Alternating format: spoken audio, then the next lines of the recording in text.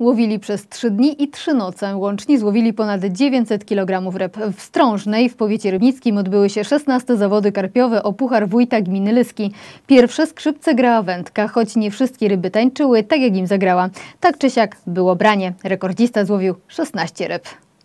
Dokładnie 82 cm i prawie 13 kg. Na takie karpie chrapkę miał każdy z zawodników. Są to prestiżowe zawody. A to oznacza, że karpie łowili prawdziwi zawodowcy. 14 dwuosobowych drużyn z Polski i z Czech złowiło w sumie 904 kg ryb. Zwycięska drużyna złowiła 16 ryb o łącznej wadze ponad 215 kg. Wymaga nam mata, podbierak, wszystko to, co służy do łowienia karpia i wszystko to, co służy do łowienia fair play. Jest to orzeszek tygrysik, też bardzo dobry, ładnie przyprawiony. Wymyślimy zasadę. Jest nasypane, uderzę o wodę, jest coś takiego. Proszę, podaję.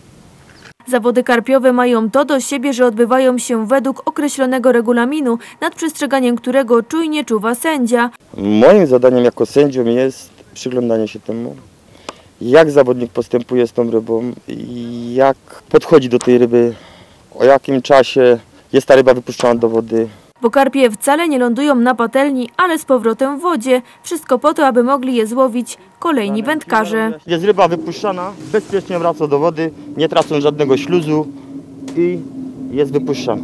Nie jest to ryba 5 kg, 6 kg, są to rekordy życiowe, którymi się idzie pochwalić w domu, przed rodziną, przed kolegami, w pracy. Nie? Klasyfikowanymi gatunkami ryb były karpie i amury o wadze powyżej 3 kg. Każdy z zawodników miał dwie wędki wyposażone w jeden oryginalny bezzadziorowy haczyk. Wszystko po to, aby łowienie było humanitarne, a ryba ucierpiała jak najmniej. Każda złowiona ryba trafiała pod czujne oko sędziego, który mierzył ją i ważył, a następnie zapisywał wynik w karcie zawodów. To jest więcej niż pasja. Więcej niż pasja. Człowiek się zakochuje w tym wszystkim i jakby to powiedzieć, że e, z karpiami tak jakby z dziećmi się obchodzi, nie? Się o nich dba, wypuszcza, żeby dali rosły i żeby wszyscy inni mieli uciecha z tego, żeby tego karpia znowu złapać.